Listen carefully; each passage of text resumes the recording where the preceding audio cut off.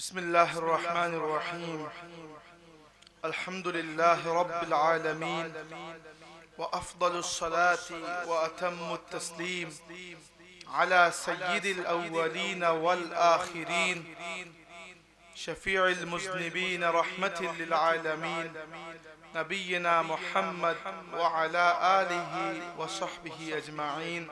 أما بعد فإن خير الحديث كتاب الله وخير الهدي هدي محمد صلى الله عليه وسلم وإن شر الأمور محدثاتها وكل محدثة بدعة وكل بدعة ضلالة وكل ضلالة في النار.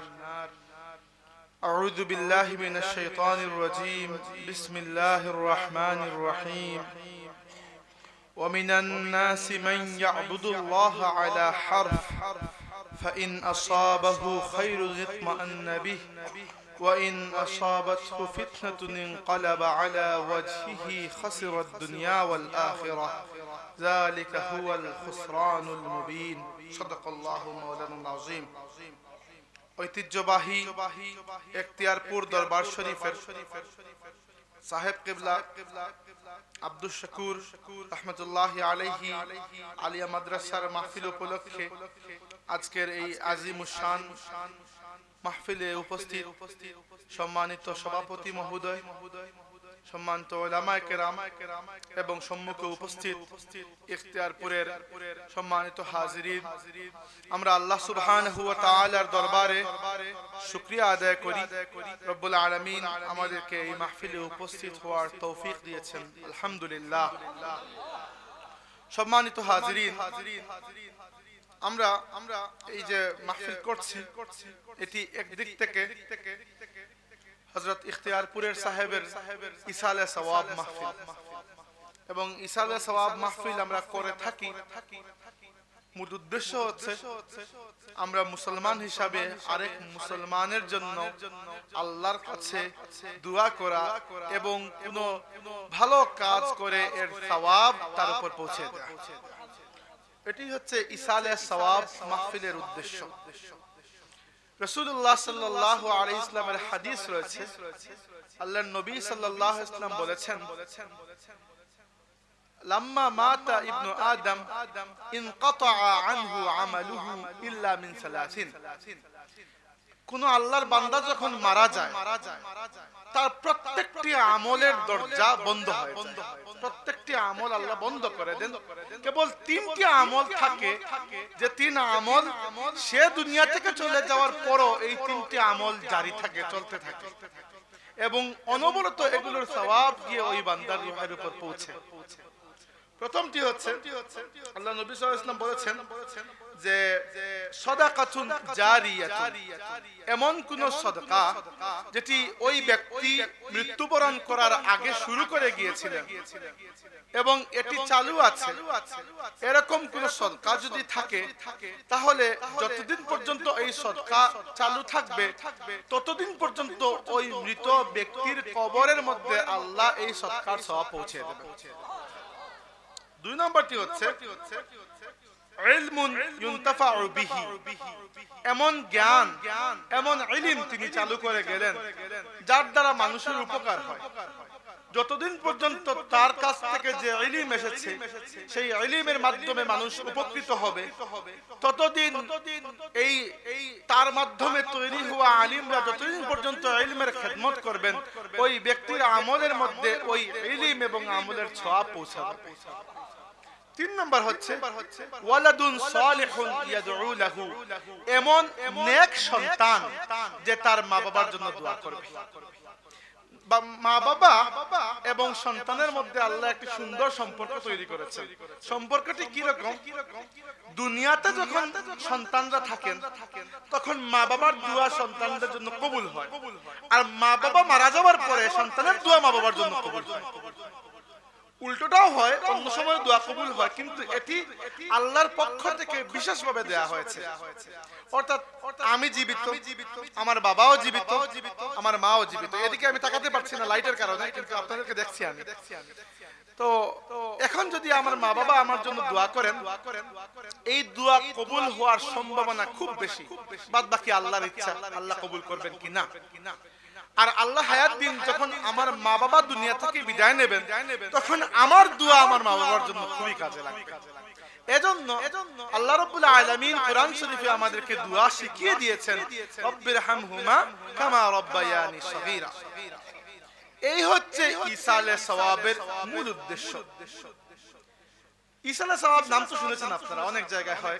কেউ উরুস নামে করে না উরুস শব্দটা আমরা উচ্চারণ করি না কারণ এই নামে অনেক ধরনের কাজ হয় যেগুলো শরীয়তে সম্মত নয়।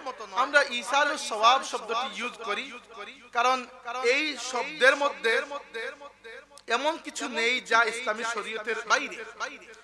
আমি সব শাব্দিকভাবে যদি বলি আপনাদেরকে ইসাল শব্দের অর্থ হচ্ছে পৌঁছানো পৌঁছানো। পৌঁছানো। ওয়াসালা ইয়াসিলু আরবি শব্দ। ইসাল শব্দের অর্থ হচ্ছে পৌঁছানো। আর সওয়াব হচ্ছে কোন কাজের বিনিময়। আপনি একটি আমল করলেন আল্লাহ আপনাকে একটি বিনিময় দিলেন। আপনি ওই বিনিময়টি আপনার এক মৃত ভাইয়ের রুহের উপর পৌঁছে দিলেন। এর নাম হচ্ছে ইসালে সওয়াব সওয়াব দুই ভাবে হয়। একটা হচ্ছে হুসুলে সওয়াব। আমি কোরআন শরীফ পড়লাম। আল্লাহ আমাকে সওয়াব দিলেন। আমি সওয়াব পেয়ে গেলাম। এর নাম হচ্ছে হুসুলে সওয়াব। আর আমি কোরআন শরীফ তিলাওয়াত করলাম। আর দোয়া করলাম আল্লাহ এই তিলাওয়াতের সওয়াব নিয়ে আমার দাদার রূহের উপর পৌঁছিয়ে দাও। এটি হবে ঈসালে সওয়াব। বুঝতে পেরেছেন? এই ঈসালে সওয়াব কয় ভাবে করা যায়?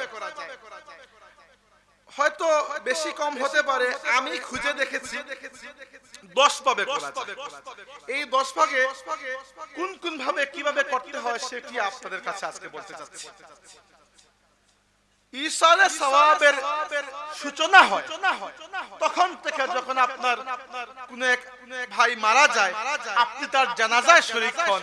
জানাজা হচ্ছে প্রথম সওয়াব। জানাজা অত্যন্ত মুবারক বরকতময় একটি জিনিস। মৃতের জন্য জীবিতের জন্য। মৃতের জন্য কি সেটি পরে বলছি? জীবিত যারা কোন মৃত মানুষের জানাজায় শরীক সাল্লাল্লাহু আলাইহি ওয়াসাল্লাম বলেছেন তোমাদের মধ্যে কেউ যদি তার মৃত ভাইয়ের জানাজায় শরিক হয় তাহলে আল্লাহ তাকে উহুদ পাহাড়ের সমান দিয়ে দেবেন। এজন্য জানাজা মিস করবেন না। যদি সুযোগ হয়, জানাজা মিস করবেন না। আমরা জানি জানাজা ফরজে কিফায়া। অর্থাৎ অর্থাৎ এক এলাকার মধ্যে কয়েকজন মানুষ পড়ে নিলে সবার পক্ষ থেকে আদায় হয়ে যায়। ঠিক আছে। কিন্তু আপনি কেন এত বরকতময়, এত সওয়াবের একটি কাজ বাদ দেবেন? কালকে আপনাকেও তো এই জার্নি করতে হবে। আর যদি আপনি মানুষের জানাজায় শরীক হন, আল্লাহ সুবহানাহু ওয়া তাআলা কাল আপনার জন্য নিশ্চয়ই মানুষের ব্যবস্থা করে দেবেন। জানাজা হবেন এবার আমাদের আজকের বয়ান জীবিতের জন্য নয় মৃতের জন্য। এজন্য আমি যাচ্ছি ওই দিকে যে জানাজায় যদি আমরা শরীক হই জীবিতরা এর দ্বারা মৃত মানুষের কি রকম ফায়দা হয়? কারণ আমি বলেছি ইসালে সওয়াব 10 ভাবে করা যায় তার মধ্যে প্রথমটি হচ্ছে জানাজা।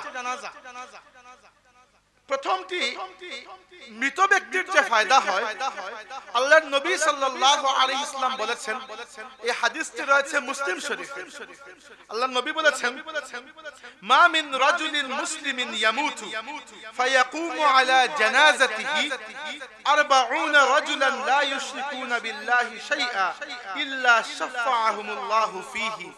কোন মুসলমান যদি মারা যায়, আর তার জানাজায় 40 জন মুসলমান শরীক হয় তাহলে এই 40 জনের দোয়াকে আল্লাহ ওই ব্যক্তির জন্য সাফাত হিসাবে কবুল করে কবুল করে আপনার জানাজায় শরীক হওয়া, আপনার ভাইয়ের জন্য এত বড় উপকার ডেকে আনলো। আপনি কেন শরীক হবেন না?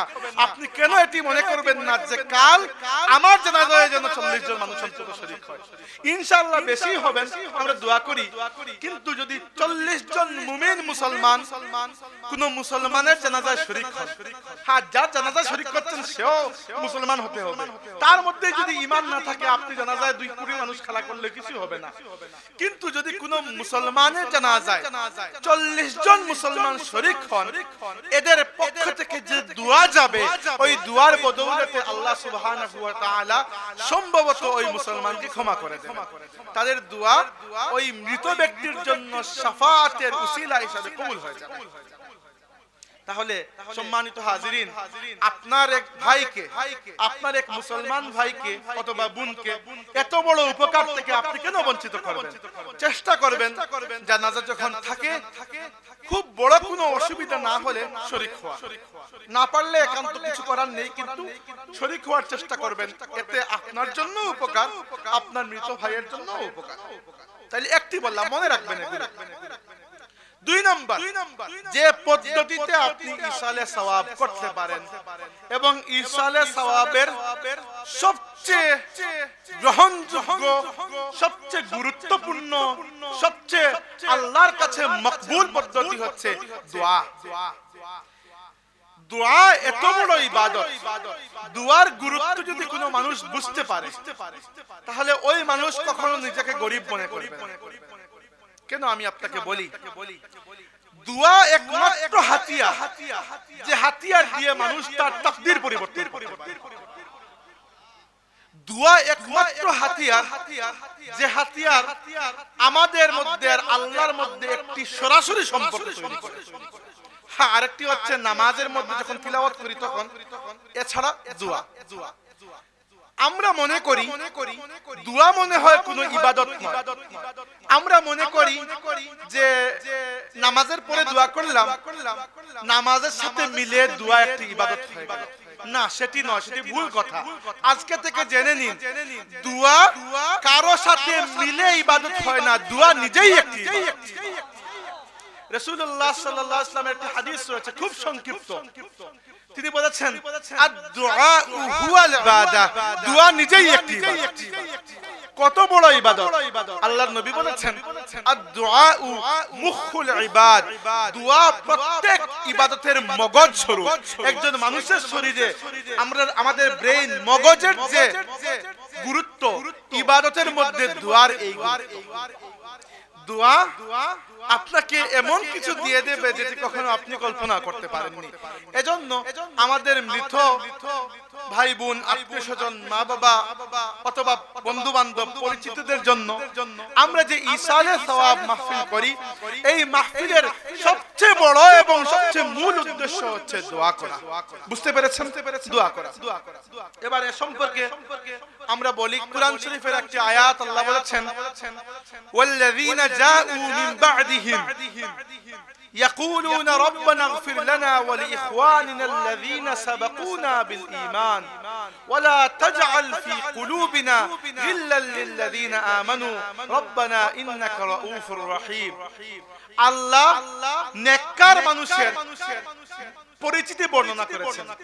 বলেছেন নেককার মানুষ তারা যারা আল্লাহর কাছে দোয়া করে হে আল্লাহ আমাদের আগে দুনিয়া থেকে যত মুমিন মুমিনাত বিদায় নিয়েছেন কবরে গিয়েছেন আল্লাহ তাদের প্রতি আমাদের মনে কোনো কষ্ট তুমি রেখো না। আমাদের মন তাদের উপর খুশি তুমি তাদেরকে ক্ষমা করে দাও। এই দোয়া আপনি করবেন আপনার পূর্ববর্তী মুমিনদের জন্য। আল্লাহর নবী সাল্লাল্লাহু আলাইহি ওয়াসাল্লামের ব্যাপারে আল্লাহ বলেছেন ফা'লাম আন্নাহু লা ইলাহা ইল্লাল্লাহ ওয়াস্তাগফির লিযামবিকা ওয়ালিল মুমিনিনা ওয়াল মুমিনাত। হে নবী সাল্লাল্লাহু আলাইহি ওয়াসাল্লাম আপনি জেনে নিন যে আল্লাহ ছাড়া কোনো ইলাহ নেই। অতএব আপনি আল্লাহর কাছে দোয়া করুন নিজের জন্য এবং আপনার সমস্ত মুমিন উম্মতের জন্য আল্লাহর কাছে দোয়া করুন। আল্লাহর নবীকে আল্লাহ আমাদের জন্য দোয়া করার কথা বলেছেন। এবার দেখেন দোয়া হচ্ছে সবচেয়ে বড় ইসালে সওয়াব। একটি ঘটনা বলি। রসুল্লাহ সাল্লাহ আলী ইসলামের একজন সাহাবি, নাম ছিল আবু সালামা রাদিয়াল্লাহু আনহু। তিনি যখন ইন্তেকাল করলেন রসুল্লাহ সাল্লাহ আলী ইসলাম তার জানাজায় শরীক হলেন। জানাজা শরীক হওয়ার পরে দেখা গেল তার পরিবার আত্মীয় স্বজন খুব কান্নাকাটি করছেন আল্লাহর নবী সাল্লাল্লাহু আলাইহি ওয়াসাল্লাম বললেন যে তোমরা আল্লাহর কাছে দোয়া করো। এবার তারা জিজ্ঞেস করলেন ইয়া রাসূলুল্লাহ আমরা কি দোয়া করব আমাদের মৃত ওই আত্মীয়ের জন্য? তখন রাসূলুল্লাহ সাল্লাল্লাহু আলাইহি ওয়াসাল্লাম দোয়া শিখিয়ে দিলেন। আল্লাহর নবী নিজে আল্লাহর কাছে দোয়া করলেন। বললেন আল্লাহুম্মা গফিরলি আবি সালামাতা ওয়ারফা দারাজাতাহু ফিল মাহদিয়িন আল্লাহ আমার সাহাবী আবু সালামাকে তুমি মাফ করে দাও এবং তার দরজা জান্নাতের মধ্যে উন্নত করে দাও। এবং তাকে মাহদিয়িনদের পর্যায়ে পৌঁছিয়ে দাও। তাহলে আমরা বুঝতে পারলাম যে ইসালে সওয়াবের সবচেয়ে গুরুত্বপূর্ণ মাধ্যম হচ্ছে আপনার মৃত ভাইয়ের জন্য আপনি কি করবেন? দোয়া করবেন। সেই দোয়া আপনি যে কোনো অবস্থায় করতে পারেন। বাসায় বসেও করতে পারেন, কবর জিয়ারত করার পরও করতে পারেন। তিন নম্বর। ইসালে সওয়াবের তিন নম্বর মাধ্যম। তিন নম্বর মাধ্যম। হচ্ছে আপনার মৃত ভাইয়ের কবর জিয়ারত। কবর জিয়ারত। করা সুন্নত। রাসূলুল্লাহ সাল্লাল্লাহু আলাইহি ওয়াসাল্লাম আমাদেরকে কবর জিয়ারতের কথা বলেছেন। কেন বলেছেন? কারণ কবর এমন একটি জায়গা যেখানে গেলে মানুষের মৃত্যুর কথা স্মরণ হয়। এমনিতে তো আমাদের মৃত্যুর কথা খুব কমই স্মরণ হয়। কবরের পাশে গেলে স্মরণ হয়। সম্মানিত হাজিরিন এগুলো স্মরণ করা দরকার।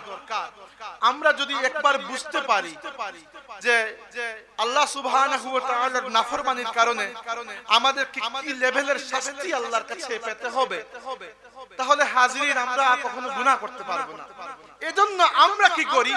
নিজেদেরকে ধোঁকা দেওয়ার জন্য কবর মৃত্যু এই চিন্তাগুলো ইচ্ছা করে মন থেকে সরিয়ে রাখি। রাখি। না কবরে গেলে এগুলো স্মরণ হয়। আমি আপনাকে একটি ঘটনা বলি হাদিসের কিতাব থেকে। রাসূল পাক সাল্লাল্লাহু আলাইহি সাল্লাম সাহাবীদেরকে একবার বলেছেন হে আমার সাহাবীরা আমার আমার আমার ইচ্ছা হলো যে তোমাদেরকে আমি কবরের আযাব শুনিয়ে দেই। দেখানোর দরকার নেই।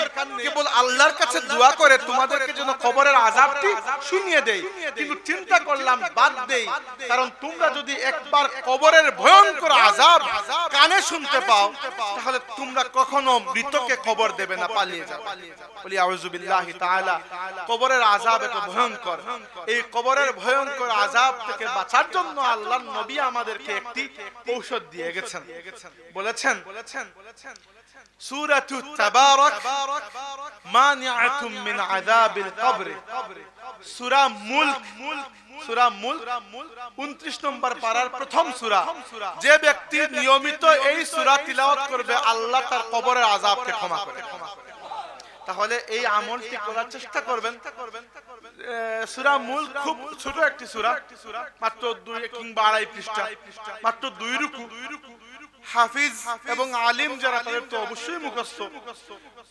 বাদ বাকি আপনারা মুখস্থ করার দরকার নেই। দেখে দেখে পড়লেও খুব বেশি দিন যাবে না মুখস্থ হয়ে যাবে।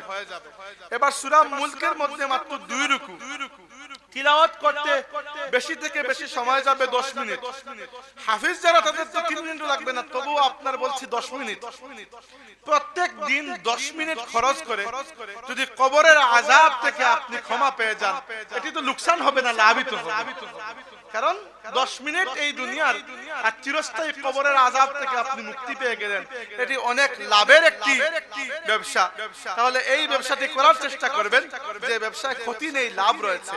সুরা মূল তিলাওয়াত করার চেষ্টা করবেন। এছাড়া এছাড়া এছাড়া আপনার আপনার দুয়ার কথা যেটি বলছিলাম দোয়া আমাদের দোয়া মৃত ব্যক্তির উপকারে আসতে পারে। এজন্য আপনার মৃত মা বাবা হন অথবা অন্য যে কোনো আত্মীয়।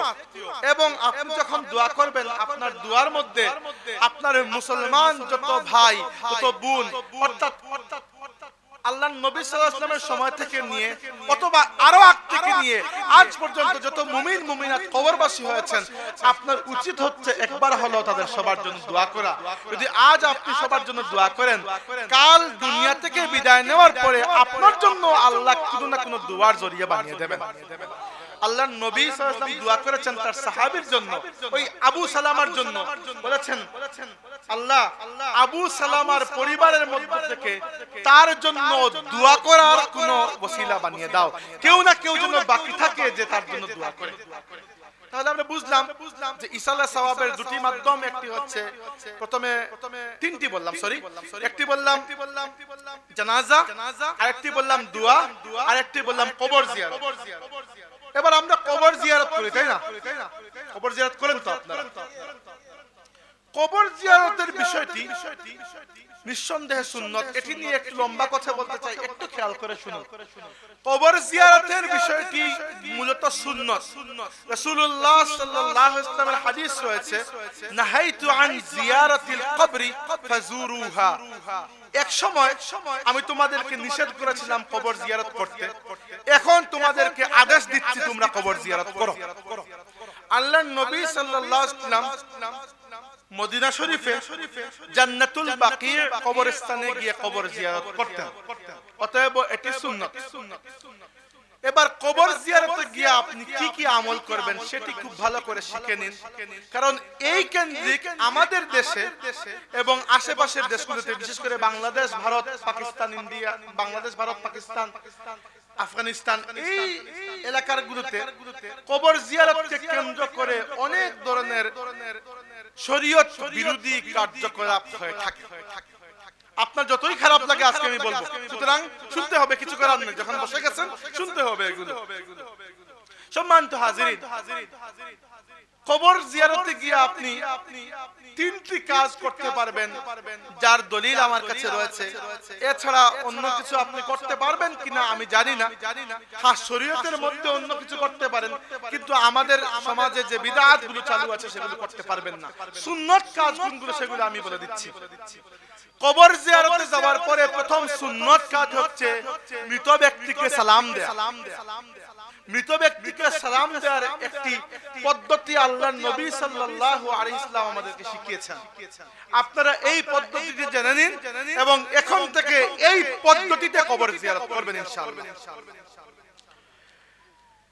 প্রথম পদ্ধতিটি হচ্ছে আল্লাহর নবী সাল্লাল্লাহু আলাইহি সাল্লাম আমাদের মা আল্লাহর নবীর স্ত্রী আয়েশা সিদ্দিকা রাদিয়াল্লাহু আনহাকে বললেন আয়েশা আমার কাছে আল্লাহর ফেরেশতা জিবরাইল এসেছিলেন।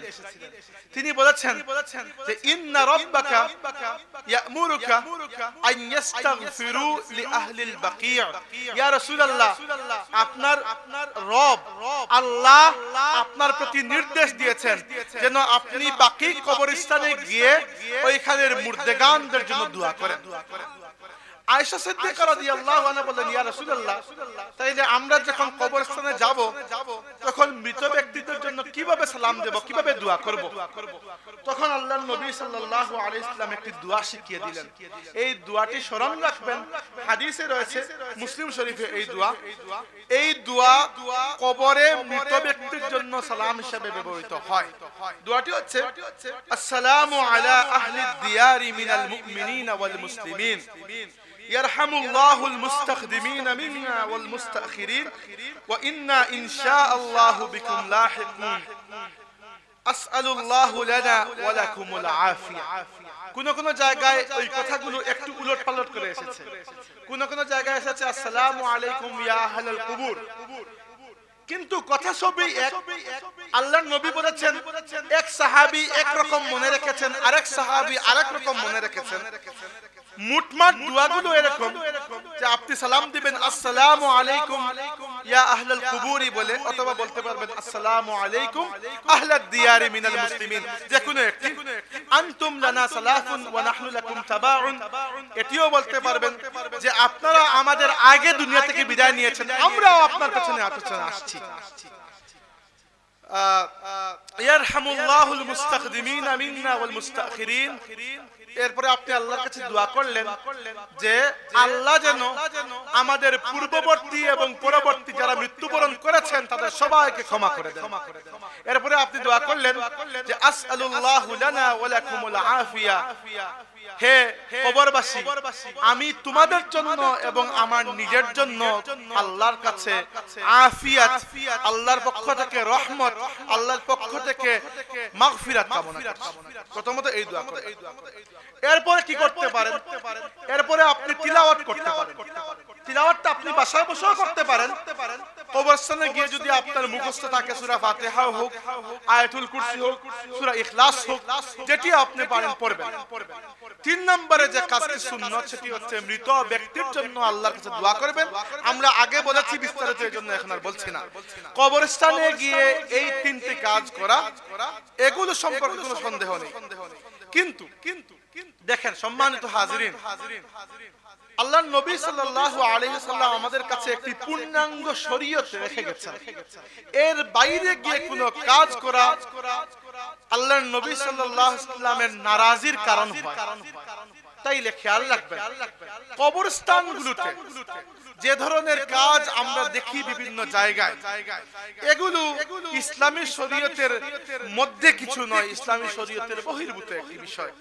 আপনারা খেয়াল করবেন, এই যে মিন জালিক কোন কোন জায়গায় এরকম বন্ডামি দেখা যায় যে মানুষ কবরস্থানে গিয়ে সেজদা করে দেখেন নাই আপনারা? দেখেছেন? আল্লাহর কসম করে বলছি, ইসলামী শরীয়তে আল্লাহ সুবহানাহু ওয়া তাআলা ব্যতীত অন্য কোন মাখলুককে আপনি করতে পারবেন না। ইবাদতের উদ্দেশ্য পারবেন না। ইবাদতের উদ্দেশ্য ছাড়া কেবল সম্মান করার জন্য পারবেন না। আল্লাহর নবী সাল্লাল্লাহু আলাইহি ওয়াসাল্লামের এক সাহাবী মুআজ ইবনে জাবাল রাদিয়াল্লাহু আনহু তিনি একবার সিরিয়ায় গেলেন। ওইখান থেকে ফিরে এসে আল্লাহর নবীকে সেজদা করতে শুরু করলেন। আল্লাহর নবী সাল্লাল্লাহু আলাইহি তাকে ধরে বললেন মুআজ তুমি কোন কাজ করছ? তিনি বললেন, ইয়া রাসূলুল্লাহ, আমি সিরিয়ায় গিয়েছিলাম। ওইখানে দেখলাম অন্য ধর্মের মানুষ, তাদের মধ্যে পণ্ডিত যারা, তাদের মধ্যে পাদ্রী যারা, বড় বড় আলিম, পীর বুজুর্গ যারা অন্য ধর্মের, এদেরকে সেজদা করে। তাহলে আমি চিন্তা করলাম, ইয়া রাসূলুল্লাহ, আমিও আপনাকে সেজদা করব। আল্লাহর নবী বললেন, লা তাফালু খবরদার তুমি এটা করবে না। আমার শরীয়তে আল্লাহ ব্যতীত অন্য কাউকে সেজদা করা জায়েজ না বুঝতে পেরেছেন? এছাড়া কবরস্থানে আপনি এই নিয়তে বাতি জ্বালতে পারবেন যে জিয়ারতকারীদের জন্য জিয়ারত করার জন্য সুবিধা হয়। কিন্তু আপনি কবরের উপর বাতি জ্বলে যদি মনে করেন কবরস্থানের মধ্যে যে মুর্দা তার কবরকে আপনি উজ্জ্বল করে দেবেন। না আপনাকে এই ক্ষমতা আল্লাহ দেননি। ওইখানে একমাত্র তিনটি বিষয় পৌঁছতে পারবে। যে তিনটি বিষয় আমি আল্লাহ নবীর হাদিস থেকে বলেছি। একটি হচ্ছে সৎকায় জারিয়া। অর্থাৎ আপনি একটি ডিপ টিউবওয়েল খনন করে গেলেন। যতদিন পর্যন্ত মানুষ এখান থেকে পানি পান করবে এই পানি মানুষের উপকারে আসবে। ততদিন পর্যন্ত এর সওয়াব আল্লাহ পৌঁছে দেবেন। দুই নম্বর এমন ইলম অর্থাৎ আপনি এই এলাকায় একটি মাদ্রাসা প্রতিষ্ঠা করে আপনি ইলমের প্রচলন করে গেলেন। কিয়ামত পর্যন্ত বাচ্চা কাচ্চারা যারা এখানে পড়বে প্রত্যেকের আমলনামা যে সওয়াব আল্লাহ ততটুকু সওয়াব আপনাকেও দেবেন। আর আরেকটি হচ্ছে আপনার নেক সন্তান সে যদি আপনার জন্য দোয়া করে সেটি অন্য কিছু আপনি বুঝতে পারবেন না। এজন্য কবরস্থানের বাইরে অর্থাৎ কবরের আশেপাশে যদি আপনি কয়েক হাজার ওয়াটের বিদ্যুতিক বাতিও লাগিয়ে দেন, এতে কবরের কোনো ফায়দা হবে না। সুতরাং এই ধরনের ইসরাফ বা এই ধরনের অপচয় থেকে বেঁচে থাকবেন। যেটি আপনার মৃত ভাইয়ের উপকার করতে পারে সেটি করুন। উপকার করতে পারে তার জানাজায় হওয়া। উপকার করতে পারে তার জন্য দোয়া করা উপকার করতে পারে তার কবর এগুলো করবেন, ইনশাআল্লাহ। আহলে সুন্নাত ওয়াল জামাতের আকীদা হচ্ছে আপনার মৃত ভাইয়ের জন্য আপনার দোয়া এবং নেক আমল আল্লাহ তার রূহের উপর এই পৌঁছে আচ্ছা এবার আসি আমরা চার নম্বরে।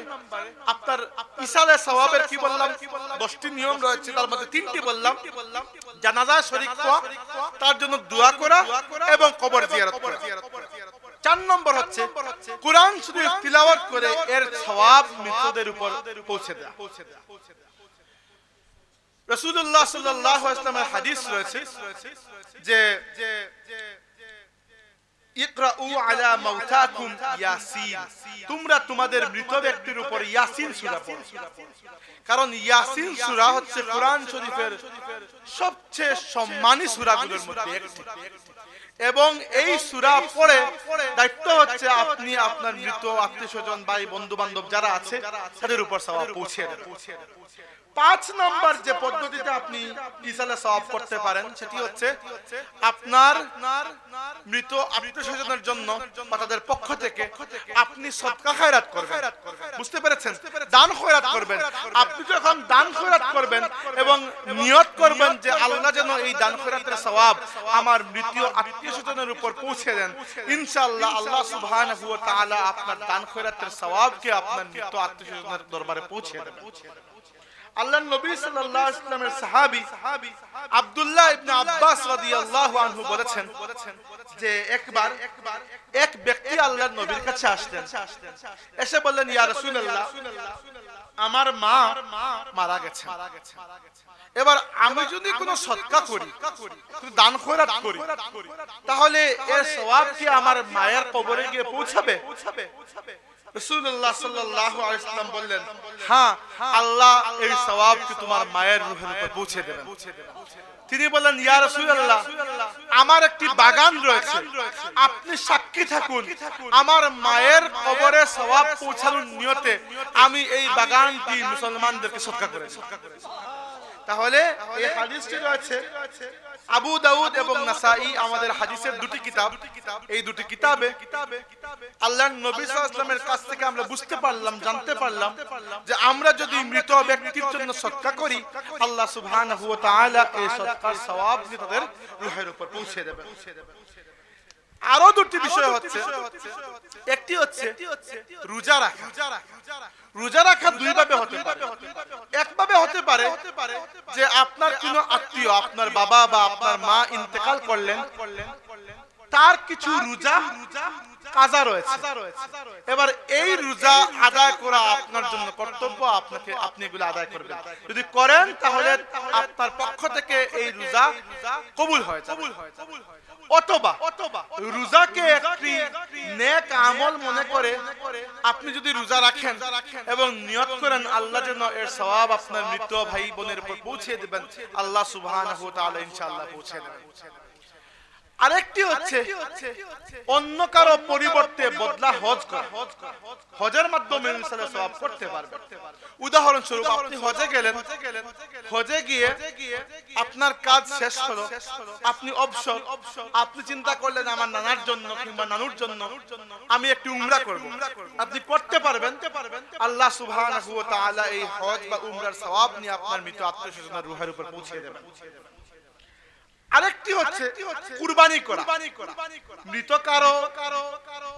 উদ্দেশ্য নয় উদ্দেশ্য তো অবশ্যই আল্লাহ মৃত কারও প্রতি সওয়াব পৌঁছে দেওয়ার জন্য আপনি কুরবানি করতে পারেন। এখানে একটি ঘটনা বলি আপনাদেরকে। রাসূলুল্লাহ সাল্লাল্লাহু আলাইহি সাল্লাম একবার কুরবানির ঈদে দুটি বকরি নিয়ে আসলেন। এবং দুটি বকরি কুরবানি দিলেন। এবার সাহাবীরা চিন্তা করতে পারছেন না যে আল্লাহ নবী সাল্লাম দুটি বকরি কেন কুরবানি দিলেন? একটি দিলেই তো হতো। আল্লাহ নবী সাল্লাম প্রথম বকরি কুরবানি দেওয়ার সময় বললেন, আল্লাহুম্মা হাযা আন উম্মতি জামিআন, মান শাহিদা লাকা বিত-তাওহীদ ওয়া শাহিদা লি বিল বালাগ। আল্লাহ, এই যে প্রথম যে বকরি আমি কুরবানি দিলাম আমার উম্মতের মধ্যে যারা তুমি আল্লাহকে এক আল্লাহ হিসাবে মানে আর আমাকে তোমার নবী হিসাবে মানে আমার প্রত্যেক উম্মতের পক্ষ থেকে এই কুরবানিকে তুমি কবুল করে আল্লাহর নবী আলাইহি তার উম্মতকে এত মহব্বত করেছেন যে আল্লাহর নবী আমাদের জন্য কুরবানি আদায় করেছেন এজন্য হানাফি মাযহাবে যদিও ঈদুল আজহার সময় সামর্থ্যবান ব্যক্তির জন্য কুরবানি দেওয়া ওয়াজিব। কিন্তু বাকি তিন মাযহাব মালিকি মাযহাব হাম্বলি মাযহাব এবং শাফিঈ মাযহাবে কুরবানি দেওয়া ওয়াজিব নয় কুরবানি দেওয়া সুন্নাত। হ্যাঁ দেন সবাই। আমরা বলি ওয়াজিব ওনারা বলেন সুন্নাত। কেন সুন্নাত বলেন? কারণ তাদের যুক্তি হচ্ছে যে আল্লাহর নবী সাল্লাল্লাহু আলাইহি উম্মতের পক্ষ থেকে কুরবানি দিয়েছেন। এজন্য কুরবানি দেওয়া ওয়াজিব না সুন্নাত। আমরা বলি না, আল্লাহর নবী দিয়েছেন, আলহামদুলিল্লাহ, আমরাও দেব, এটি ওয়াজিব। তো যাই হোক, ওয়াজিব হোক আর সুন্নাত হোক, সবাই দেন। আপনি কি করতে পারেন? আপনার কুরবানির পশুর মধ্যে যদি নামের জায়গা খালি থাকে, একটা গরুতে আপনি সাতটি নাম দিতে পারবেন। তো নামের আপনার পরিবারের সদস্য ধরেন পাঁচজন, নাম দুটি খালি আছে। আপনার উচিত হবে একটি নাম রসুল্লাহ নাম দিয়ে দেয়া। আল্লাহ নবী সাল্লামের জন্য এই কুরবানি। কেন? কেন? আপনি দোয়া করে বা আপনি কুরবানি দিয়ে কি আল্লাহ নবীকে তুলে দিবেন? না আপনার দোয়া যায় না কিছু আসেও না কিছু আল্লাহ নবী সাল্লামের কোন দরজা আল্লাহর কাছে সেটি আপনি আমি বুঝতে পারব না। কিন্তু বিষয় হচ্ছে হাল জাযাউল ইহসান ইল্লাল ইহসান। কোরআন শরীফে আল্লাহ বলেছেন কেউ যদি তোমার প্রতি ইহসান করে তুমিও ইহসান করো এই আয়াতের জন্য আমার নবী সাল্লাল্লাহু আলাইহি ওয়াসাল্লাম যখন আমাকে মহব্বত করে আমার পক্ষ থেকে কুরবানি দিয়েছেন। আমি উম্মতের মধ্যে কি এতটুকু মহব্বত নেই যে আমি আমার নবীর পক্ষ থেকে কুরবানি দেব? অবশ্যই। যদি সুযোগ থাকে আপনার পরিবারের সদস্যদের নাম দেওয়ার পরও অবশ্য নাবালিকদের নাম না দিলেও সমস্যা নেই। দিলে নফল ইবাদত হিসাবে। ধরেন আপনার পরিবারের সদস্য পাঁচজন সাবালক হচ্ছেন তিনজন আপনি আপনার স্ত্রী অথবা আপনার বড় ছেলে। আর বাকি দুই বাচ্চা হচ্ছে নাবালিক। তো এদের জন্য কুরবানি ওয়াজিব নয় এদের নাম দিলেও দিতে পারবেন নফল হবে না দিলেও সমস্যা নেই। এবার বাকি যে নামগুলো খালি থাকবে একটিতে আপনি দিলেন রাসূলুল্লাহ সাল্লাল্লাহু আলাইহি ওয়াসাল্লামের নাম।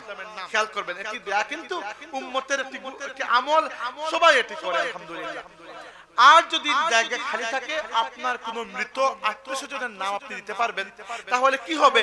কুরবানি যেহেতু একটি ইবাদত এই ইবাদতের সওয়াব আল্লাহ আপনার মৃত আত্মীয় স্বজনের রুহের উপর পৌঁছে দেবেন। আচ্ছা এই গেল কয়টা? আটটা চলে গেল নয় নাম্বারটা হচ্ছে।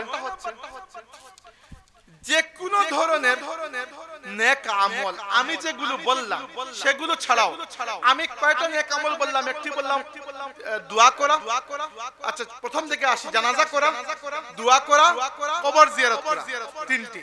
চার নাম্বারটি হচ্ছে কোরআন শরীফ তিলাওয়াত করে সওয়াব পৌঁছে দেওয়া চার নম্বরটি হচ্ছে তার পরিবর্তে হজ করা। তার যদি রোজা বাকি থাকে সেই রোজাগুলো রাখা আর তার পক্ষ থেকে সৎকা খায়রাত করা। আট নম্বর বললাম, কুরবানি করা। নয় নম্বর হচ্ছে যে ইবাদতের কথা আমি বলেছি, সেগুলো ছাড়াও অন্য যে কোনো নেক আমলের স্বভাব আপনি পৌঁছে দিতে পারেন। উদাহরণস্বরূপ একজন মানুষ ঋণগ্রস্ত।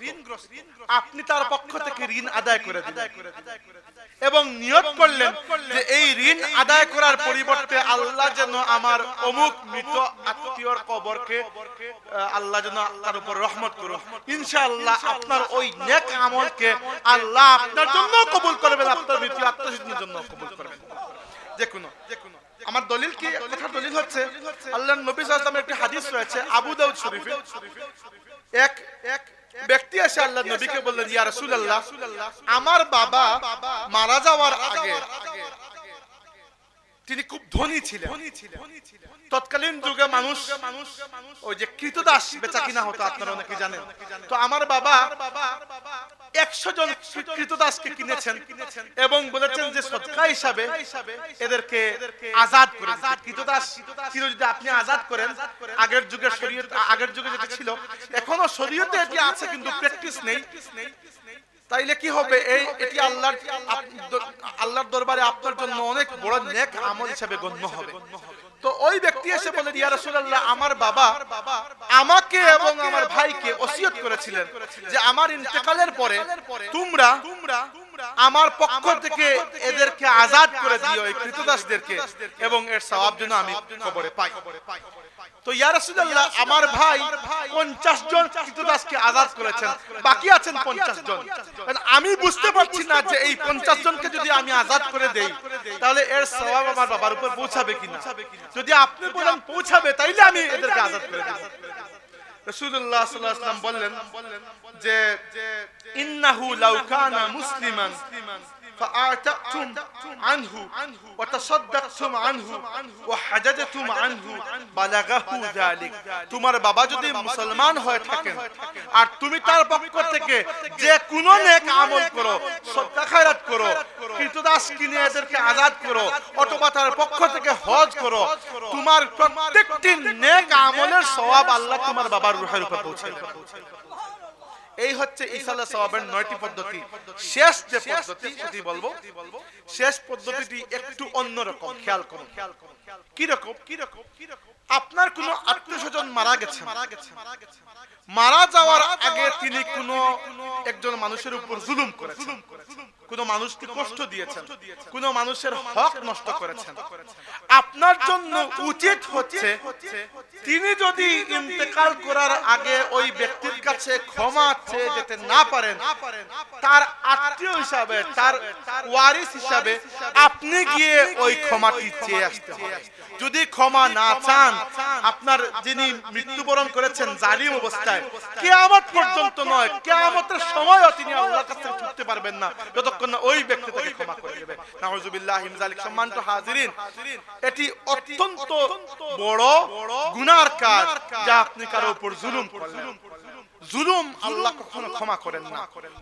জুলুম যদি অন্যের উপর আপনি করে থাকেন, সে ব্যক্তি ক্ষমা না করলে আল্লাহ ক্ষমা করবেন না। তাইলে আপনার জন্য উচিত হচ্ছে আপনার বাবা, আপনার মা, আপনার ভাই বা আপনার যে কোনো আত্মীয় যখন মারা যাবেন, তখন আপনি একটু খুঁজে দেখার চেষ্টা করবেন যে এরা কখনো কারও উপর জুলুম করেছেন কিনা? যদি জুলুম করে থাকেন আপনার উপর উচিত হচ্ছে ওই মজলুমের কাছে যাবেন আপনি এবং হাত জুড়ে ক্ষমা চাইবেন। যদি তার হক নষ্ট করে থাকে তাকে ওই হক দেবেন দিয়ে ক্ষমা নিয়ে আসবেন। যদি ক্ষমা নিয়ে না আসতে পারেন তাহলে আপনার যিনি আত্মীয় জালিম অবস্থায় দুনিয়া থেকে বিদায় নিয়েছেন তার খবরের মধ্যে আজাব হতে থাকবে নাউজুবিল্লাহ জালিক তাহলে এটি খেয়াল রাখবেন মৃতদের পক্ষ থেকে ওই ক্ষমাটুকু চাইতে হবে। এই দশটি পদ্ধতি যার মাধ্যমে আমরা ইসালে সওয়াব করতে পারি। সম্মানিত হাজিরিন এই গেল একটি টপিক আরেকটি টপিক আমি আপনাদের সামনে আজকে কথা বলব সেটি হচ্ছে যে আজ আজ আজ অনেক জায়গায় গিয়ে দেখি যে মানুষের মধ্যে ইসলামের মৌলিক বিষয়গুলো নিয়ে এক ধরনের উদাসীনতা সৃষ্টি হয়েছে মৌলিক বিষয় কোনগুলো? আমি আপনাদেরকে আজকে ইসলামের মৌলিক বিষয়গুলো নিয়ে কথা বলতে চাই। ইসলামের সওয়াবের কথা বললাম হঠাৎ করে মনে পড়ল যে এই মাহফিলটি ইখতিয়ারপুরি সাহেব রহমতুল্লাহি আলাইহি ইসালের সওয়াব হিসাবে আল্লাহ যদি কবুল করেন আমরা বলি আমিন। তাহলে আপনাদের কাছে ইসালের সওয়াবের হকটুকু বলে যাই। কীভাবে আপনি ইসালের সওয়াব করবেন? সুন্নত পদ্ধতিতে। কিন্তু আসলে যে আয়াত আমি তিলাওয়াত করেছিলাম ওই আয়াতের আলোকে এই আলোচনা করি না এই আলোচনা হঠাৎ করে মনে এসেছে আমি যেটি বলতে চাচ্ছিলাম আপনাদের এলাকায় তো আমার আশা খুব কমই হয়। এর আগে মাহফিলে একবার মাত্র এসেছিলাম। তাও যখন আল্লাহ আসার তৌফিক দিয়েছেন, ইসলামের মৌলিক বিষয়গুলো অন্ততপক্ষে আজকে আপনাদের কাছে একটু পরিষ্কার করতে চাই। সম্মানিত হাজিরিন, আল্লাহ সুবহানাহু ওয়া তাআলা এই জমিনে আমাদেরকে পাঠিয়েছেন আল্লাহর খলিফা হিসেবে। খলিফা কাকে বলে? খলিফা বলে আপনি একটি কাজ করবেন আপনি না করে আপনার পক্ষ থেকে অন্য কাউকে দিয়ে একটি কাজ করালেন ওই ব্যক্তি আপনার খলিফা। অথবা আপনি দুনিয়া থেকে বিদায় নিলেন। বিদায় নেওয়ার সময় আপনার পেছনে যাদেরকে রেখে গেলেন তারা আপনার খলিফা। খলিফা বিভিন্ন ভাবে হতে পারে। এবার আল্লাহ সুবহানাহু ওয়া তাআলা তার বিদায় হওয়ার প্রশ্নই উঠে না। কিন্তু এই জমিনে আল্লাহ সুবহানাহু ওয়া তাআলা আল্লাহর দ্বীনকে কায়েম করার জন্য আমাদেরকে আল্লাহর খলিফা হিসাবে পাঠিয়েছে। এজন্য আমাদের মর্যাদাও বেশি মর্যাদা বেশি এজন্য আমাদের দায়িত্ব বেশি আপনি দেখেন না যে আমি ধরেন গাড়ি নিয়ে এসেছি। রাস্তায় আমার জন্য ট্রাফিক আটকিয়ে রাখা হয়নি। রাস্তায় আমার জন্য আলাদা কোনো ব্যবস্থা করা হয়নি। কিন্তু যদি বাংলাদেশের প্রধানমন্ত্রী এই রাস্তা দিয়ে যান তাহলে ট্রাফিক আটকানো হবে। আরও নানান সিকিউরিটির ব্যবস্থা করা হবে। কেন করা হবে? কারণ তার তার মর্যাদা বেশি। এবার তার যখন মর্যাদা বেশি তখন তার দায়িত্ব বেশি। এবার বাংলাদেশ যদি কোন জায়গায় গিয়ে আটকে যায় আমাকে কেউ প্রশ্ন করবে না কিন্তু প্রধানমন্ত্রীকে প্রশ্ন করা করা হবে। তিনি যদি বলেন তাহলে আমাকে কেন প্রশ্ন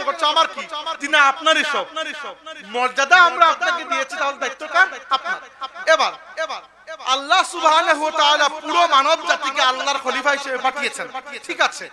কিন্তু এদের মধ্যে আল্লাহ আমাদেরকে তার সবচেয়ে মহব্বতের বান্দা হিসেবে কবুল করেছেন। আমাদেরকে কাদেরকে? মুহাম্মদ সাল্লাল্লাহু আলাইহি উম্মতকে। কীভাবে? দুটি দলিল বলি। কুরআন শরীফে আল্লাহ বলেছেন কুনতুম খায়রা উম্মাতিন উখরিজাত লিন-নাস। হে মুসলমানরা তোমাদেরকে আল্লাহ সারা মানব জাতির জন্য বেছে নিয়েছেন। তোমরা সাধারণ কেউ নয় তোমাদেরকে আল্লাহ নিজে বেছে শ্রেষ্ঠ হিসাবে মনোনীত করেছেন। দুই নাম্বার আল্লাহ নবী সাল্লাল্লাহু আলাইহি ইসলাম তার সাহাবীদেরকে বললেন তোমরা কি জানো আগের আসমানি কিতাব সমূহে আমার ব্যাপারে এবং আমার উম্মতের ব্যাপারে আল্লাহ কি বলেছেন? সাহাবীরা বলেন ইয়া রাসূলুল্লাহ আল্লাহ এবং আল্লাহর রাসূল ভালো জানেন। তখন আল্লাহ নবী বললেন যে আমার ব্যাপারে আগের প্রত্যেক নবীর কাছে আল্লাহ যে কিতাব পাঠিয়েছেন সেই কিতাবের মধ্যে আল্লাহ লিখেছেন যে তিনি মর্যাদার দিক থেকে সবার প্রথম এই নবী। কিন্তু দুনিয়াতে আসবেন সব নবীর পরে। আর তার যে উম্মত হবে মুসলিম উম্মত। আপনারা এদের ব্যাপারে আগের আসমানি কিতাবে আল্লাহ বলেছেন ও উম্মাতুহু উম্মাতাম মারহুমা। এই শেষ নবী মুহাম্মদুর রাসূলুল্লাহ সাল্লাল্লাহু আলাইহি ইসলামের উম্মতরা আল্লাহর রহমত প্রাপ্ত উম্মত হিসাবে আল্লাহর কাছে গণ্য হবে।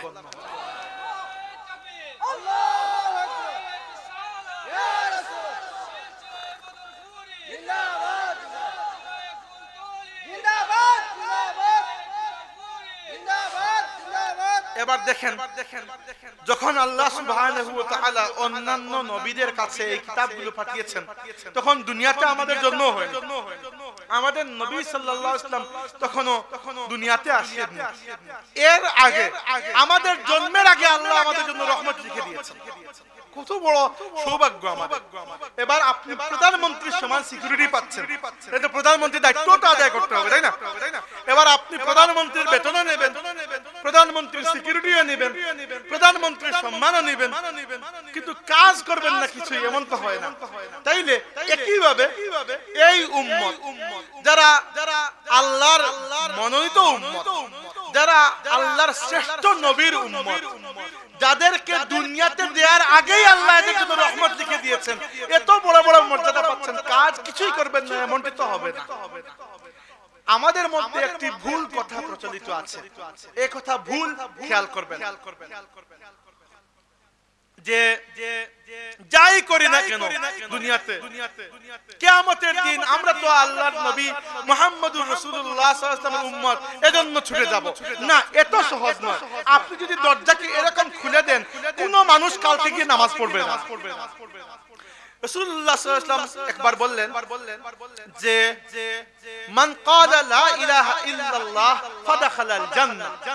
যে ব্যক্তি জীবনে ঈমানের সাথে একবার লা ইলাহা ইল্লাল্লাহ পড়বে আল্লাহ তাকে জান্নাতে প্রবেশ করিয়ে দেবে। তখন দুই একজন সাহাবী বলেন ইয়া রাসূলুল্লাহ এটি সবাইকে বলার দরকার নেই। কেন দরকার নেই? পরের দিন থেকে মানুষ আর নামাজই পড়বে না তাই না। তাই না? পরবর্তীতে আল্লাহর নবী আলাইহি এই হাদিস বর্ণনা করেছেন এজন্য আমরা জানি। কিন্তু প্রথম দিকে সাহাবীরা এটি বর্ণনা করতে চাননি। কারণ কি? কারণ কি? জাহান্নামের ভয় যদি আপনার মধ্যে না থাকে খারাপ কাজ থেকে আপনি বাঁচতে পারবেন। বুঝতে পেরেছেন? তাইলে কিয়ামতের আযাবের ভয় থাকা জরুরি। কিয়ামতের আযাবের ভয় থাকলে আপনি জাহান্নাম থেকে বাঁচার মতো নিজেকে প্রস্তুত করতে পারবেন। সম্মানিত হাজিরিন। একটি একটি হাদিস বলি আপনাদের কাছে। সহি হাদিস বুখারী শরীফে রয়েছে। আল্লাহর নবী সাল্লাল্লাহু আলাইহি ওয়াসাল্লামের অভ্যাস ছিল তিনি তিনি প্রত্যেক দিন ফজরের নামাজ শেষে সাহাবীদের দিকে মুখ ফিরে বসতেন। এবং জিজ্ঞেস করতেন তোমাদের মধ্যে কেউ কোনো স্বপ্ন দেখেছ? স্বপ্ন দেখলে আমাকে বলো। তো সাহাবীরা স্বপ্ন দেখলে বলতেন আল্লাহর নবী সাল্লাল্লাহু আলাইহি ওয়াসাল্লাম স্বপ্নের ব্যাখ্যা দিতেন তাবির করতেন। একদিন আল্লাহর ইচ্ছা কোন সাহাবী কেউই কোনো স্বপ্ন দেখলেন তারা বলেন ইয়া রাসূলুল্লাহ আজকে তো মনে হয় আমরা কেউই কোনো স্বপ্ন দেখি নাই। আল্লাহ নবী সাল্লাম বললেন তাইলে গতকালকে রাত্রে আমি একটা স্বপ্ন দেখেছি। তোমাদেরকে বলব এটি আল্লাহর পক্ষ থেকে কারণ আল্লাহ সুবহানাহু ওয়া তাআলা অন্য কাউকে এর রাতে স্বপ্ন দেখাননি তার নবীর স্বপ্নটি শোনানোর জন্য। এবার একটি বিষয় মনে রাখবেন নবীর স্বপ্ন কিন্তু আল্লাহর পক্ষ থেকে ওহী। এজন্য আপনার স্বপ্ন আর নবীর স্বপ্ন কিন্তু এক নয় নবীর স্বপ্ন আপনার জন্য শরীয়তের দলিল হতে পারে। আপনার স্বপ্ন কোনো দলিল নয়। বুখারী শরীফের একটি হাদিস রয়েছে। এটি পরে বলব। আসতেছি একটি হাদিস মধ্যখানে বলে আসি। সহিহ বুখারি কিতাব তাবির অধ্যায়ে এই হাদিস রয়েছে যে স্বপ্ন দুই রকমের দুই রকমের এক রকমের স্বপ্ন হচ্ছে যেটি দেখে আপনার ভালো লাগে খুশি হন।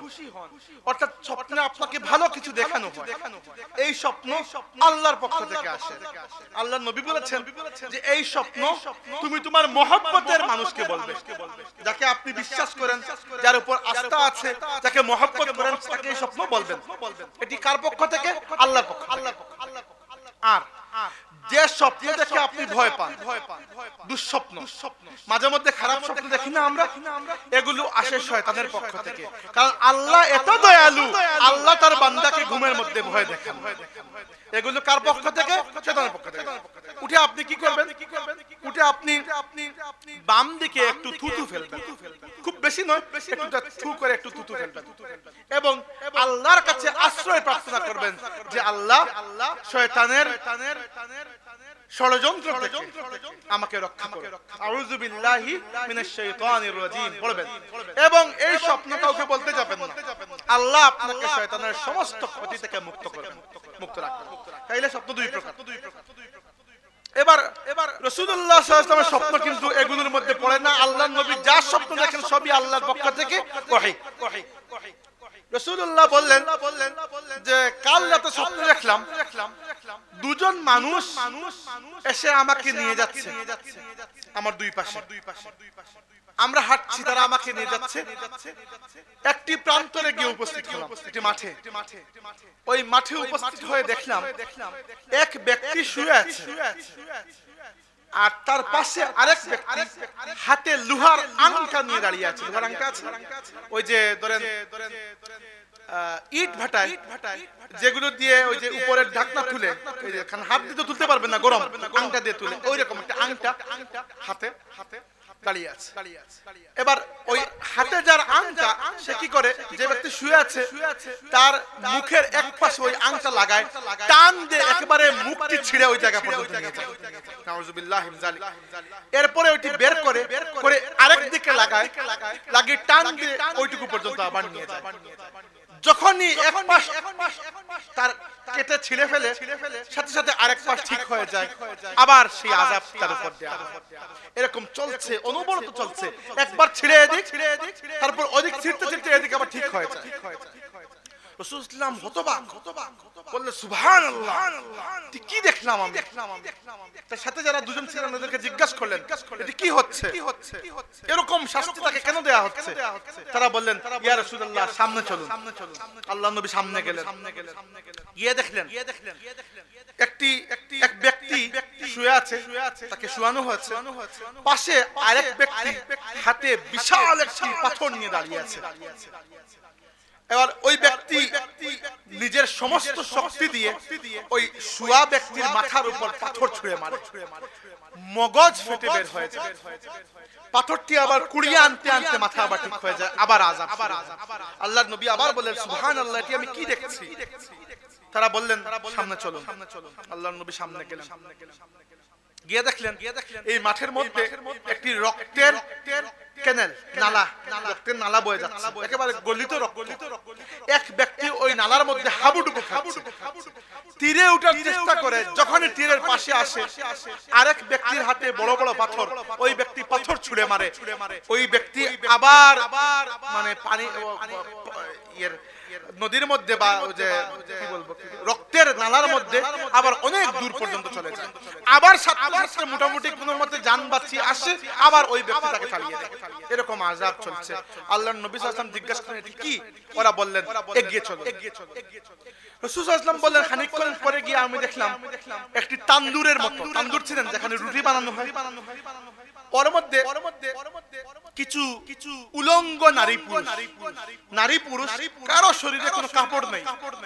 সবাইকে আগুনের লেলিহান শিখায়? পুরানো হচ্ছে। আল্লাহ নবী জিজ্ঞেস করলেন এটি কি? ওরা বললেন এগিয়ে চলো। আল্লাহ নবী সাল্লাম বললেন যে খানিকক্ষণ পরে আমি দেখলাম একটি গাছ একটি মাঠের মধ্যে গাছ। ওই গাছের পাশে একজন অত্যন্ত সুন্দর চেহারার বৃদ্ধ একজন মানুষ বসে আছে। একবারে বৃদ্ধ। তার পাশে ছোট ছোট অনেকগুলো বাচ্চা কাচ্চা দৌড়াদৌড়ি করছে। বৃদ্ধের পাশে বাচ্চারা। এবং এবং সাল্লাল্লাহু বললেন, আমি দেখলাম এক ব্যক্তি আগুন খুদার কসম, এর মতো কুৎসিত ব্যক্তি, এর মতো ভয়ঙ্কর চেহারার ব্যক্তি দুনিয়ার জমিনে আমি দেখি এরপরে আমার পাশের দুজন যারা আমার সাথে হাঁটছিলেন, তারা আমাকে এমন একটি সুন্দর জায়গায় প্রবেশ করালেন। এত সুন্দর শহর আমি আমার জীবনে দেখি নাই। এরপরে তারা বললেন আপনি একটু উপরে থাকিয়ে দেখুন। উপরে থাকিয়ে দেখলাম মেঘের ভেলায় একটি সুন্দর প্রাসাদ ভেসে বেড়াচ্ছে। তারা বললেন ইয়া রাসূলুল্লাহ এই প্রাসাদটি হবে জান্নাতে আপনার ঘর। রাসূলুল্লাহ সাল্লাল্লাহু বললেন তাইলে আমাকে একটু সুযোগ দাও আমি আমার ঘর দেখে আসি। ওনারা বললেন ইয়া রাসূলুল্লাহ দুনিয়াতে এখনও আপনাকে কিছুদিন থাকতে হবে। দুনিয়া থেকে বিদায় নেওয়ার পরে আল্লাহ আপনাকে এই ঘরে দিয়ে দেবেন। রাসূল পাক সাল্লাল্লাহু বললেন তাহলে আমি আর সহ্য করতে পারছি না। বলো আমাকে এতক্ষণ যা দেখে আসলাম এগুলোর অর্থ কি? তোমরা কারা? তারা বললেন ইয়া রাসূলুল্লাহ। আল্লাহ সুবহানাহু ওয়া তাআলা আপনাকে জাহান্নামের কয়েকটি শাস্তি দেখিয়েছেন। উদাহরণ জাহান্নামের কয়েকটি শাস্তি দেখিয়েছেন। প্রথম যে ব্যক্তিকে দেখেছিলেন যার মুখ আংটা দিয়ে ছেঁড়া হচ্ছে ওই ব্যক্তি হচ্ছে দুনিয়াতে তার অভ্যাস ছিল সে সমাজে মিথ্যা কথা ছড়িয়ে দিত। চিন্তা করে দেখেন। শুধু যে মিথ্যাবাদী তা নয় সে সমাজের মধ্যে মিথ্যা ছড়িয়ে দিত। অর্থাৎ এমন একটি মিথ্যা বাজারে ছেড়ে দিত যে মিথ্যা দাবানলের মতো চতুর্দিক ছড়িয়ে পড়ত। অর্থাৎ উদাহরণস্বরূপ কোন একজন সম্মানী মানুষের নামে একটি বদনাম ছড়িয়ে দিয়েছে। মানুষ তো নাম থেকে বদনামকে বেশি পছন্দ করে। তো বদনামগুলো খুব দ্রুত ছড়িয়ে গেল। এইরকম একটি প্রবিষ্ট ব্যক্তি যে দুনিয়াতে মিথ্যা ছড়াতো আজ তার শাস্তি হচ্ছে তাকে আংটা দিয়ে তার মুখ ছেড়া হয়। কেয়ামত পর্যন্ত এই শাস্তি তাকে পেয়ে যেতে হবে। এরপরে আল্লাহ বিচার করবেন বাদ বাকি কোনো শাস্তি দেবেন বলি আউযুবিল্লাহি তাআলা। দুই নম্বরে যে ব্যক্তিকে দেখেছেন যার মাথা পাথর দিয়ে ভাঙ্গা হচ্ছে ইয়া রাসূলুল্লাহ এটি সেই ব্যক্তি যে নামাজ এবং কুরআন থেকে দূরে থাকতো। নামাজের সময় ঘুমিয়ে কাটাতো। আর কোরআনের উপর আমল করতো না। হ্যাঁ কোরআন পড়তো মাঝে মধ্যে কিন্তু খুঁজে বুঝার চেষ্টা করতো না যে কোরআন শরীফ আল্লাহ কি বলেছে নামাজের পরে নামাজ চলে যেত সে ঘুমিয়ে কাটিয়ে দিত। ইয়া রাসূলুল্লাহ নামাজ এবং কোরআন থেকে দূরে থাকার কারণে তার এই শাস্তি। কিয়ামত পর্যন্ত এটি চলতে থাকবে। তিন নাম্বার যাকে দেখেছিলেন রক্তের নদীতে সাঁতার কাটছে এই ব্যক্তি হচ্ছে সুদখুর। দুনিয়াতে সে সুদ গ্রহণ করত। সম্মানিত হাজিরিন সুদের বিষয়টি আসলে আমাদের সমাজে কেন জানি আলিমুল আমার এত বেশি গুরুত্ব দিয়ে বলেন না কিন্তু আমি আপনাদেরকে আল্লাহর কসম করে বলছি ইসলামী শরীয়তে সুদের চেয়ে বড় হারাম আর কিছু। আল্লাহ নবী বলেছেন, আর রিবা সাবউনা হুবা, আইসারাহা আন ইয়ানকিহা রাজুলু উম্মাহু। সুদ গ্রহণ করার 70টি গুনাহ রয়েছে, যারা শিশু বয়সে দুনিয়া থেকে বিদায় নিয়েছে। তখন সাহাবীরা জিজ্ঞেস করলেন ইয়া রাসূলুল্লাহ যে বাচ্চাদের কথা বলছেন এরা কি শুধু মুসলমানের বাচ্চা? আল্লাহ নবী বলেন না যে কোন ধর্মের বাচ্চা যদি শিশু অবস্থায় মারা যায় তার তো কোনো অপরাধ নেই। অর্থাৎ অন্য ধর্মের যিনি ইসলাম কবুল করেননি এমন একটি ধর্মের কোন এক শিশু জন্ম হওয়ার তিন দিন চার দিন পরে মারা গেল অথবা এক বছরে মারা গেল। তার তো কোনো অপরাধ নেই সে এখনও দুধের বাচ্চা আল্লাহ সুবহানাহু ওয়া তাআলা তাকে কিয়ামত পর্যন্ত ইব্রাহিম আলাইহিস সালামের সাথে রেখে দেবেন এবং অবশ্যই তাদের জন্য আল্লাহ জান্নাত রেখেছেন এরপরে আপনি যে বিশ্রী কুৎসিত চেহারার ব্যক্তিকে দেখেছেন যে আগুন প্রজ্বলিত করছে তিনি হচ্ছেন জাহান্নামের প্রধান ফেরেশতা। যিনি জাহান্নামের দায়িত্বে আছেন তার নাম হচ্ছে মালিক মালিক ফেরেশতা।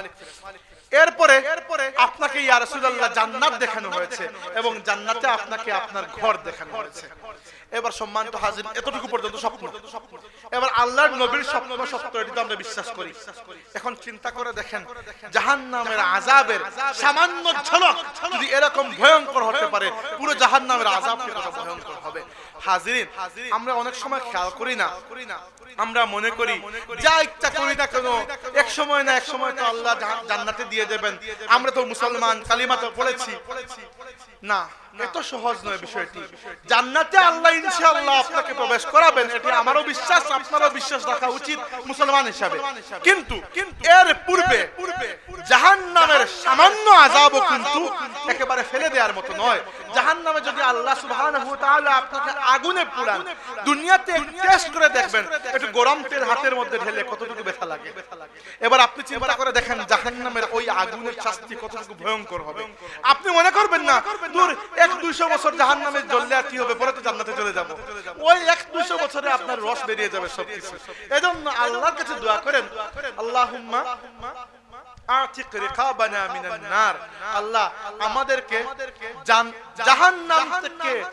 মুক্ত হওয়া মানুষের তালিকায় অন্তর্ভুক্ত করে দাও বলি আমিন।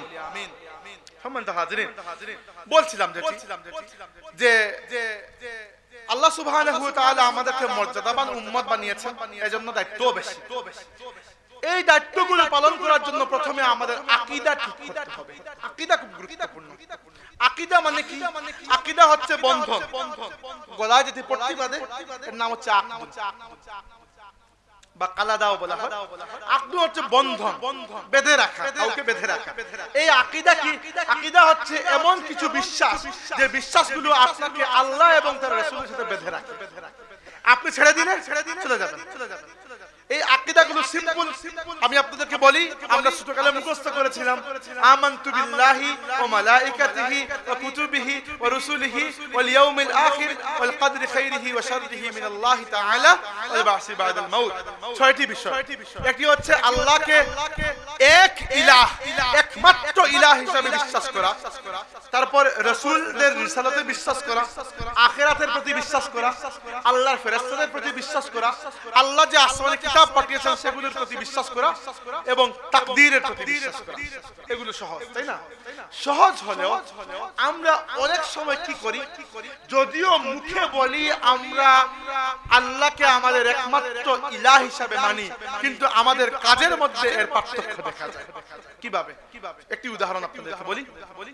কোরআন শরীফ আল্লাহ বলেছেন ওয়ামা ইউমিনু আকসারুহুম বিল্লাহি ইল্লা ওয়া মুশরিকুন। বেশিরভাগ মানুষ যারা মুখে বলে যে আমরা ইমান এনেছি এদের মধ্যে বেশিরভাগ মানুষ শিরকের কাজে লিপ্ত। নাউজুবিল্লাহ আর শিরক এত ভয়ঙ্কর গুনাহ।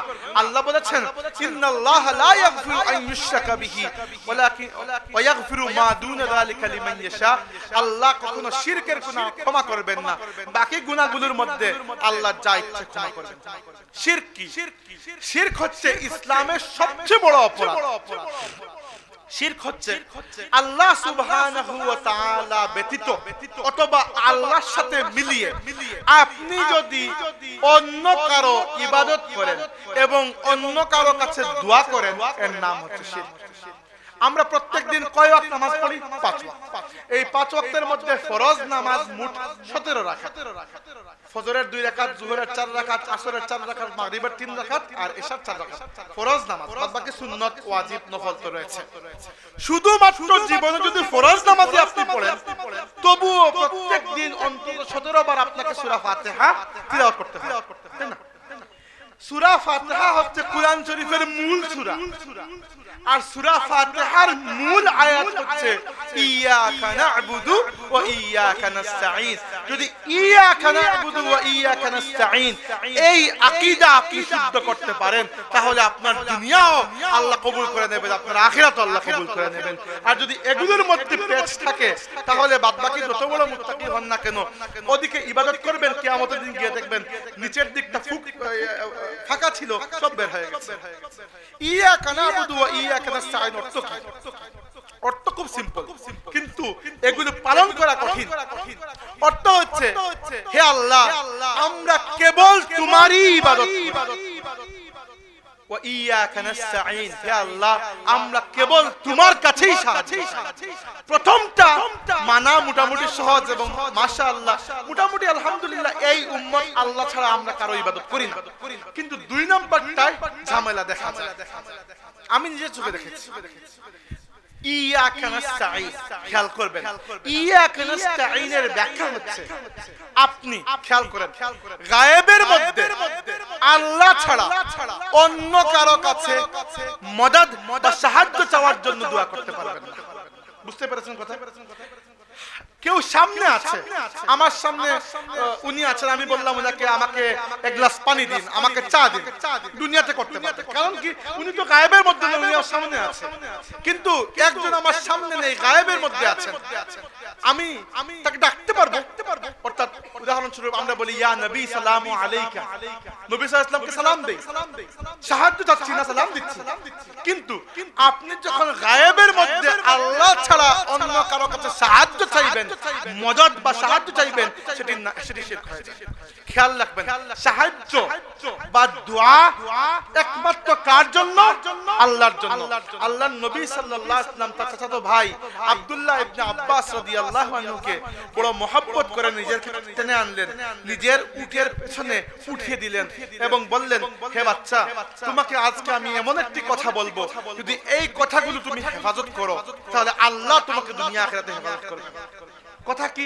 কথা খুব সিম্পল আল্লাহ নবী বললেন ইজা সাআল সাফাস আলিল্লাহ যখনই কিছু চাইবে একমাত্র আল্লাহর কাছে চাইবে।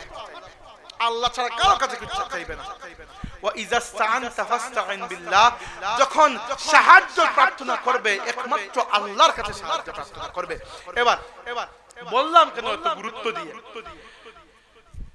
অনেকে দেখা যায় কবর জিয়ারতে যান। কবর জিয়ারতে গিয়ে আপনি আমি বলেছিলাম সুন্নত কাজ কয়টি তিনটি। কবর জিয়ারতে গিয়ে মৃত ব্যক্তিকে সালাম দেবেন। তার জন্য দোয়া করবেন এবং তিলাওয়াত করে আল্লাহর কাছে চাইবেন যে আল্লাহ যেন এর সওয়াবকে তার উপর পৌঁছে দেন। আপনি পৌঁছাতে পারবেন না আল্লাহ পৌঁছে দেবেন। আকীদা শুদ্ধ করা খুব গুরুত্বপূর্ণ। আপনি যদি মনে করেন আপনি ছেলে পৌঁছে দেবেন। না আপনার পক্ষে এটা সম্ভব নয়। আপনি বুঝলেন কীভাবে যে আপনার তিলাওয়াত কবুল হচ্ছে, হয়তো দেখা যাবে আপনার তিলাওয়াত কবুল হয় নাই। এটা তো আল্লাহর ইচ্ছা। খেয়াল করবেন, আপনি সাহায্য চাওয়ার নিয়ত ছাড়া ডাকতে পারবেন কাউকে। আমরা নামাজের মধ্যে বলি, আসসালামু আলাইকা আইয়ুহান নাবিয়্যু। হে নবী, আপনার সালাম। বলি না? নামাজের বাইরে আমরা এটিও বলি, এছাড়াও বলি, ইয়া নবী, সালামু আলাইকা। ইয়া রাসূল, সালামু আলাইকা। এখানে নবী সাল্লাল্লাহু আলাইহি কাছে আমরা সাহায্য চাচ্ছি না বা তার কাছে দোয়া করছি না বরং তার প্রতি সালাম পৌঁছে দিচ্ছি। যদি আপনি গায়েবের মধ্যে আল্লাহ ছাড়া অন্য কারও কাছে সাহায্য চাওয়ার উদ্দেশ্যে চান চান সেটি শিরক হয়। মনে থাকবে? এটি মনে রাখবেন। আপনি কি করবেন? কি করবেন? আপনি আল্লাহর কাছে দোয়া করবেন। আল্লাহ সুবহানাহু ওয়া তাআলা আপনাকে দেবেন। কার ওসিলা দেবেন সেটিও আল্লাহর ইচ্ছা। হ্যাঁ আপনি অন্য কারও ওসিলা দোয়া করতে পারেন। আপনি এটি বলতে পারেন যে হে আল্লাহ তোমার তোমার নবী সাল্লাল্লাহু আলাইহি ওয়াসাল্লামের ওসিলায় আমার দোয়াকে কবুল করো। এটি জায়েজ। এটি কি? জায়েজ। কিন্তু আপনি এবং আপনি বলতে পারেন হে আল্লাহ আমার অমুক নেক কাজের ওসিলায় আমার দোয়াকে কবুল করো। কোরআন শরীফে আল্লাহ বলেছেন, ইয়া আইয়ুহাল্লাযীনা আমানু বিস-সাবরি ওয়াস-সালাহ। হে ঈমানদারগণ, তোমরা নামাজ এবং ধৈর্য ধারণ করার মাধ্যমে আল্লাহর কাছে সাহায্য চাও। এবং এখন আপনি বলতে পারবেন না, হে নামাজ, আমাকে সাহায্য করো। বলতে পারবেন? পারবেন না। হাদিসে রয়েছে যে আল্লাহর ফেরেশতা মিকাইল আলাইহিস সালাম তার দায়িত্ব হচ্ছে বৃষ্টি বর্ষণ করা। এবার দুই চার দিন আপনার এলাকায় বৃষ্টি হচ্ছে না, আপনি দোয়া করবেন কার কাছে? আল্লাহর কাছে না মিকাইলের কাছে? আল্লাহর কাছে। দেবেন কে? আল্লাহ। হ্যাঁ মধ্যখানে মিকাইল। মধ্যখানে আজ যদি মিকাইলকে সরিয়ে কাল আল্লাহ আজরাইলকে নিয়ে আসেন, আপনার কি? দায়িত্ব তো এখানে আপনার না। দোয়া করবেন কার কাছে? আল্লাহর কাছে। খেয়াল রাখবেন। ইয়া কানা আবুদু আমরা কেবল আল্লাহ ছাড়া কারও ইবাদত করি না। ও ইয়া কানাস্তাইন গায়েবের মধ্যে আমরা আল্লাহ ছাড়া অন্য কারও কাছে সাহায্য চাই না। খেয়াল করবেন সম্মানিত হাজরিন এই দুটি আকীদা যদি শুদ্ধ না হয় আপনার ইসলামে প্রবেশ করার প্রথম জায়গায় একেবারে প্রথম দিকেই আপনি হুচট খেয়ে পড়ে যাবেন। কারণ আপনি লা ইলাহা ইল্লাল্লাহ বলে তো তারপরে প্রবেশ করবেন ইসলামে। আপনি লা ইলাহা ইল্লাল্লাহর মধ্যে যদি হুটুট হুটুট খেয়ে যান তাহলে আপনার ইসলাম আর আল্লাহর কাছে কবুল হবে না। হ্যাঁ দুনিয়াতে আপনি অনেক বড় আলিম আর অনেক বড় বুজুর্গ আর অনেক বড় পীর সাহেব আর অনেক বড় নেতা হিসাবে গণ্য হবেন। কিয়ামতের দিন গিয়ে আল্লাহ আপনাকে আযাব দেবেন। শুধু যে দেবেন তা নয় বলবেন ইন্নাকা আনতাল আজিজুল কারীম। আজকে শাস্তি গ্রহণ করো। দুনিয়াতে তো তুমি বড় সম্মানী বড় পাওয়ারফুল ছিলে। আজ জাহান্নামের আযাব তুমি ভোগ করো। সম্মানিত হাজিরিন এই দুটি আকীদা শুদ্ধ করা খুব জরুরি। বারবার বলছি দুইবার অলরেডি বলেছি তিন নম্বরবার বলছি আমরা আল্লাহ ছাড়া অন্য কারও জন্য ইবাদত করতে পারব না। এবং আল্লাহ ছাড়া কারও কাছে দোয়া করতে পারব না। আপনি বলবেন, দোয়া কেন করতে পারব না? কারণ দোয়া ইবাদত। দলিল কি? নবীর হাদিস আর দোয়া হুয়াল ইবাদা। দোয়া নিজেই একটি ইবাদত। ইবাদত আল্লাহ ছাড়া কারও কাছে করতে পারবেন না। দোয়া ইবাদত, সুতরাং দোয়া করা যাবে না। আর ইয়াক নাস্তাইন একই কথা। আল্লাহ ছাড়া গায়েবের মধ্যে সাহায্য চাওয়ার নিয়তে অন্য কারোর কাছে চাইতে পারবেন না।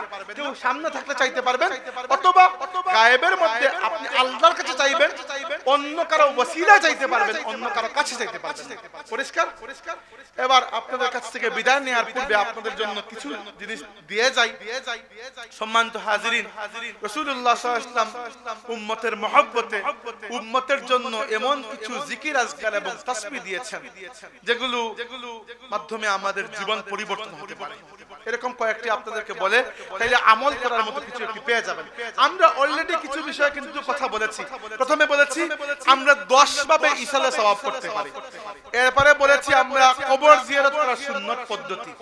এরপরে আমরা বলেছি যে আমাদের আকীদা যেটি, ছয়টি মূলত আল্লাহর প্রতি বিশ্বাস, রাসূলের প্রতি বিশ্বাস, আখিরাতের প্রতি বিশ্বাস, ফেরেশতাদের প্রতি বিশ্বাস, আসমানি কিতাবের প্রতি বিশ্বাস এবং তাকদীরের প্রতি বিশ্বাস। এই ছয়টি। এর মধ্যে প্রথমটি হচ্ছে আল্লাহর প্রতি বিশ্বাস আল্লাহর প্রতি বিশ্বাসের মূল যে কনসেপ্ট সেটি হচ্ছে ইয়াকা নাবুদু ওয়া ইয়াকা নাস্তাঈন। ইয়াকা নাবুদু অর্থ হচ্ছে আমরা আল্লাহ ছাড়া অন্য কারও ইবাদত করি না। কোন শেপ কোন ফর্মে কোন ইবাদত আমরা আল্লাহ ছাড়া কারও কাছে করি না। দুই নম্বর, আল্লাহ ছাড়া গায়েবের মধ্যে সাহায্য চাওয়ার নিয়তে আমরা কারোর কাছে দোয়া করি না। এটি আল্লাহ ছাড়া অন্য কারও কাছে করা সেটা লাস্ট যে কথা বলব সেটি হচ্ছে কিছু জিকির আজকাল। সম্মানিত হাজিরিন, আল্লাহ নবী সাল্লাল্লাহু আলাইহি সাল্লাম তার সাহাবীদেরকে বলেছেন, জাদ্দিদু ঈমানাকুম। হে আমার সাহাবীরা, তোমরা তো ঈমান এনেছো। এবার তোমরা কি করো? তোমাদের ঈমানকে নতুন করো। বারবার নবায়ন করো। আপনি একটি ঘর বানালেন। 10 12 বছর পরে তো ঘরে একটু কাজ কাম করাবেন। কিন্তু রং টং সব পড়ে যাবে। তো আপনি ঈমান এনেছেন, কিন্তু ওই ঈমানে নতুন রং চড়াতে হয়। সাহাবীরা জিজ্ঞাসা করলেন, ইয়া রাসূলুল্লাহ আমরা কীভাবে আমাদের ইমানকে রঙিন করব? আল্লাহ নবী বললেন বিকাসরাতি যিকরি লা ইলাহা ইল্লাল্লাহ। অধিক হারে লা ইলাহা ইল্লাল্লাহ জিকির করার মাধ্যমে তোমাদের ঈমানকে তোমরা নবায়ন করো। দুই নাম্বার আরেকটি জিকির আপনাদেরকে বলে যাই। রাসূল পাক সাল্লাল্লাহু মেয়ে আল্লাহর নবীর কলিজার টুকরা সাইয়্যিদা ফাতিমা জাহরা রাদিয়াল্লাহু আনহা। একবার একবার তার বাবার কাছে এসে বললেন ইয়া রাসূলুল্লাহ।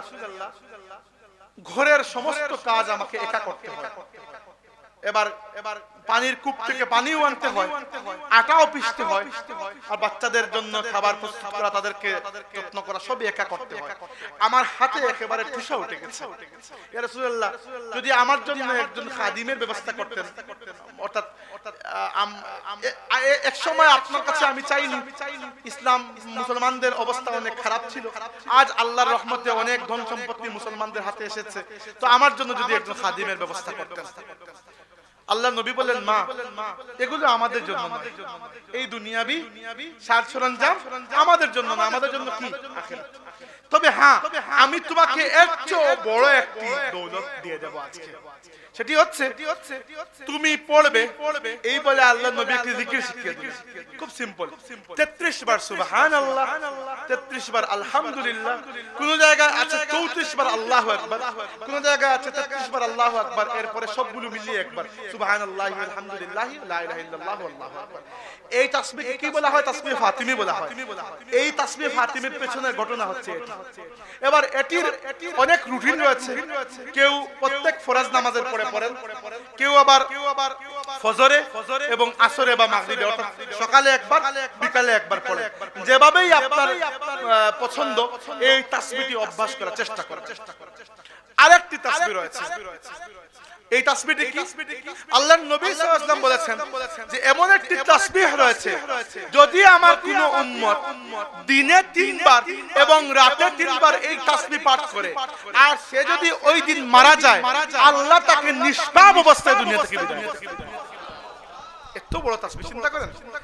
এই তাসবিহটি আমল করবেন মৃত্যু তো একদিন আসবে আসতে তো হবে। অর্থাৎ আপনার জীবন থেকেও সত্য হচ্ছে আপনার মৃত্যু তাই না? তো এই তাসবিহটি হচ্ছে রাদিতু বিল্লাহি রাব্বা ওয়া বিল ইসলামি দীনা ওয়া বি মুহাম্মাদিন সাল্লাল্লাহু আলাইহি ওয়া সাল্লাম নাবিয়্যান ওয়া রাসূলা। আপনাদের এলাকায় নিশ্চয়ই আলিম উলামা আছেন অথবা বক্তব্য তো রেকর্ড হচ্ছে যদি রেকর্ড পান হাতে তাহলে তো পেয়ে যাবেন। আর নইলে আলিম উলামার কাছ থেকে লিখিয়ে নিয়ে যাবেন মুখস্থ করবেন। আমার দাবি থাকল আপনাদের প্রতি দিনে মাত্র তিনবার সেটি যে কোনো সময় আপনার ইচ্ছা ফজরের নামাজ পড়েও পড়তে পারেন অথবা যে কোনো সময় রাতে তিনবার মাগরিবের পরে অথবা এশার পরে অথবা ঘুমের সময় যে কোনো সময় আপনার ইচ্ছা। দিনে তিনবার, রাতে তিনবার। রাদিতু বিল্লাহি রাব্বা। অর্থ হচ্ছে, আমি আমার রব হিসাবে আল্লাহর উপর সন্তুষ্ট। আমরা সন্তুষ্ট কিনা? ওয়াবিল ইসলামে দিনা, এবং ইসলামকে আমার দিন হিসাবে পেয়ে আমি সন্তুষ্ট। আমরা সন্তুষ্ট কিনা? সাল্লাল্লাহু আলাইহি ওয়াসাল্লাম ওয়া রাসূলা, এবং মুহাম্মদ সাল্লাল্লাহু আলাইহি ওয়াসাল্লামকে আল্লাহর নবী এবং রাসূল হিসাবে পেয়ে আমি সন্তুষ্ট। আমরা সন্তুষ্ট কিনা? তাহলে এটি সাক্ষ্য দিবেন আল্লাহর কাছে। দিনে তিনবার, রাতে তিনবার, বেশি না। তিনবার তিনবার, ছয়বার। আল্লাহ সুবহানাহু ওয়া তাআলা এই দিন যদি আপনার মৃত্যু হয়, আল্লাহর নবী বলেছেন, আল্লাহ এই দিনে আপনাকে নিষ্পাপ অবস্থায় দুনিয়া থেকে বিদায় শেষ একটি কথা বলে, বিদায় নিচ্ছি। রাসূলুল্লাহ সাল্লাল্লাহু বলেছেন, দুটি বাক্য দুটি বাক্য, রহমান, রহিম আল্লাহর কাছে অত্যন্ত প্রিয়। এই দুটি বাক্য উচ্চারণ করা জিহ্বার জন্য খুব সহজ সহজ। কিন্তু কিয়ামতের দিন এই বাক্য দুটি আপনার নেকির পাল্লাকে বহুগুণ ভারী করে দেবে كلمتان حبيبتان إلى الرحمن خفيفتان في اللسان ثقيلتان عند الميزان দুটি বাক্য রহমান রহিম আল্লাহর কাছে অত্যন্ত প্রিয় উচ্চারণ করা খুব সহজ। আমি বলছি না আল্লাহ নবী বলেছেন উচ্চারণ করা খুব সহজ। কিন্তু কিয়ামতের দিন আপনার নেকির পাল্লাকে ভারী করে দেবে। বাক্য দুটি হচ্ছে সুবহানাল্লাহি ওয়া বিহামদিহি সুবহানাল্লাহিল আযীম। পড়ি আমরা একবার। সুবহানাল্লাহি ওয়া বিহামদিহি সুবহানাল্লাহিল আযীম। অভ্যাস করলে সহজ হয়ে যায়। সাহেব কুল্লা রাহমাতুল্লাহি আলাইহি এটি তাসবিহ বলে দিচ্ছেন। যে প্রত্যেক দিন 100 বার দুরূদ শরীফ 200 বার দুরূদ শরীফ 100 বার ইস্তেগফার। 100 বার ইস্তেগফার পড়ার বিষয়টি হাদিসের মধ্যে রয়েছে। আল্লাহর নবী সাল্লাল্লাহু আলাইহি ওয়াসাল্লাম বলেছেন তোমরা আল্লাহর কাছে ইস্তেগফার করো। আমি নিজে প্রত্যেক দিন আল্লাহর কাছে 100 বার ইস্তেগফার করি। কিন্তু রাসূল সাল্লাল্লাহু নিষ্পাপ। তিনি মাসুম তার কোনো গুনাহ নেই। নবীদের কোনো গুনাহ থাকে না। তবুও কেন করছেন? কারণ ইস্তেগফারের নিয়ম হচ্ছে ইস্তেগফার আপনার গুনাহকে ক্ষমা করে। ক্ষমা করতে করতে যখন আপনার আমলের মধ্যে কোনো গুনাহ থাকবে না ইস্তেগফারের পরিবর্তে- আল্লাহ আপনাকে সওয়াব দান করতে শুরু করবে তবে হ্যাঁ আপনি যখন ইস্তেগফার করবেন মনের মধ্যেও এটি রাখতে হবে যে আমি গুনাহ করে আমার আল্লাহকে নারাজ করেছি। এটি মনের এই অনুসূচনা যদি আপনার মনের মধ্যে না থাকে খামোকা আস্তাগফিরুল্লাহ আস্তাগফিরুল্লাহ বলবেন হ্যাঁ তাসবিহ পড়ার সওয়াব হয়ে যাবে। তাসবিহ পড়ার সওয়াব হয়ে যাবে। কিন্তু তাওবা হিসাবে গণ্য হবে না। তাওবা হিসাবে গণ্য হওয়ার জন্য আপনার দিলের মধ্যে এই অনুসূচনা রাখতে হবে যে আমি গুনাহ করে আল্লাহকে নারাজ করেছি। শেষ কথা এটি বলছি বলে বিদায় নেব। অন্যান্য উলামা কেরাম আসবেন বা এসেছেন ওয়াজ করবেন। শেষ কথা হচ্ছে সম্মানিত হাজিরিন। আমরা আমরা এটা খেয়াল করব। কোরআন শরীফের একটি আয়াত রয়েছে, আল্লাহ সুবহানাহু ওয়া তাআলা বলেছেন, আতিউল্লাহ ওয়া ইয়া আইয়ুহাল্লাযীনা আমানু, আতিউল্লাহ ওয়া আতিউর ওয়া উলিল আমরি মিনকুম। হে ঈমানদারগণ, তোমরা আল্লাহর ইতাআত করো। আল্লাহ সুবহানাহু ওয়া তাআলার হুকুম অনুসরণ করো। ওয়া আতিউর রাসূল, রাসূলের হুকুম অনুসরণ করো। ওয়া উলিল আমরি মিনকুম, তোমাদের মধ্যে যারা নেতৃস্থানীয় ইলমের দিক থেকে বা মুসলিম জাতির নেতা হিসাবে যারা নেতৃস্থানীয় তাদের অনুসরণ করো। ফাইন তানাজাতুম ফি শাইইন ফারুদ্দুহু ইলা আল্লাহি ওয়ার রাসূল। যদি কোনো জায়গায় তোমাদের নেতৃত্বের সাথে তোমাদের পেচ লেগে যায় তাহলে নেতৃত্বের কথা শোনার দরকার নেই। আল্লাহ এবং আল্লাহর রাসূলের দিকে তোমরা ফিরে যাও। বুঝতে পেরেছেন? অর্থ হচ্ছে। আল্লাহ এবং আল্লাহর রসুল অনুসরণ করবেন কোনো প্রশ্ন ছাড়াই। আর বাকিদের অনুসরণ করবেন আল্লাহ এবং তার রসুলের অনুসরণের অধীনে। এবার আমরা আমরা অনেকভাবে আমাদের নেতা হতে পারেন। একজন এই এলাকার এমপি তিনিও এক অর্থে নেতা। একজন মসজিদের ইমাম এবং খতিব তিনিও এক অর্থে নেতা। একজন আপনার মুর্শিদ পীর মাশায়েখ আউলিয়া বুজুর্গ কেউ একজন তিনি নেতা এক অর্থে আপনার এলাকায় একটি বড় মাদ্রাসা রয়েছে এই মাদ্রাসার প্রিন্সিপাল এক অর্থে নেতা। কারণ আপনার মাসলা মাসাই তিনি তার কাছ থেকে জিজ্ঞেস করছেন। একজন মুফতি সাহেব। খেয়াল রাখেন সেটি পীর আউলিয়া হোক আলিম উলামা হোক নেতা হোক। তাদের অনুসরণ আল্লাহ এবং আল্লাহর রসুলের অনুসরণের নিচে উপরে নয়। যখনই আপনার মনে হবে যে তিনি আল্লাহ এবং আল্লাহর রসুলের পথ ছেড়ে আপনাকে অন্য কোন পথে ডাকছেন সাথে সাথে তাকে ত্যাগ করে আল্লাহ এবং আল্লাহর রসুলের পথে ফিরে আসবেন। নইলে কি হবে? কিয়ামতের দিন আপনি যখন আল্লাহকে বলবেন যে আল্লাহ আমি তো অমুকের কথায় অমুক পথে গেছি। আল্লাহ সুবহানাহু ওয়া তাআলা তখন দেখাবেন যে আপনি তো জাহান্নামে আপনার অমুক আরও আগে তো খেয়াল রাখবেন এটি, সম্মানিত হাজির আল্লাহ নবী সাল্লাহ ইসলাম এবং সাহাবায় কেরাম আমাদেরকে আল্লাহর পথ দেখিয়ে গেছেন। আল্লাহর পথ আল্লাহর পথ খুব সহজ। মানুষের বানানো পথগুলো কঠিন। এটা খেয়াল রাখবেন। কারণ কি? এত কথা বলার কারণ হলো আমরা কি মাঝে মাঝে রাজনৈতিক নেতৃত্বের পক্ষ থেকেও এমন কিছু বিষয় আছে যেগুলো আমাদের দিনের সাথে যায় না দিনের বিপরীত। মাঝে মধ্যে দেখি দিনের নামে ইসলামের নামে এমন কিছু কাজ করতে বলা হয় যেগুলো ইসলামের পক্ষে নয় বরং ইসলামের বিপক্ষে। আমি ইশারা দিচ্ছি আপনারা হয়তো বুঝতে পারছেন। এগুলো আমাদেরকে খুব শক্ত হাতে বর্জন করতে হবে। কারণ আমি প্রথমেই বলেছি আমরা শ্রেষ্ঠ উম্মত এজন্য আমাদের মর্যাদা বেশি। যেহেতু মর্যাদা বেশি সেহেতু দায়িত্ব বেশি। খেয়াল রাখবেন অনেক সময় দেখা যায় আমি এরকম নিজের কানে শুনেছি। যে অমুক পীর সাহেবের মুরিদ আর নামাজ টামাজের শুধু দরকারই নাই। আল্লাহর কসম করে বলছি কোন পীর সাহেবের মুরিদ যত বড় পীর সাহেব হন না কেন আল্লাহ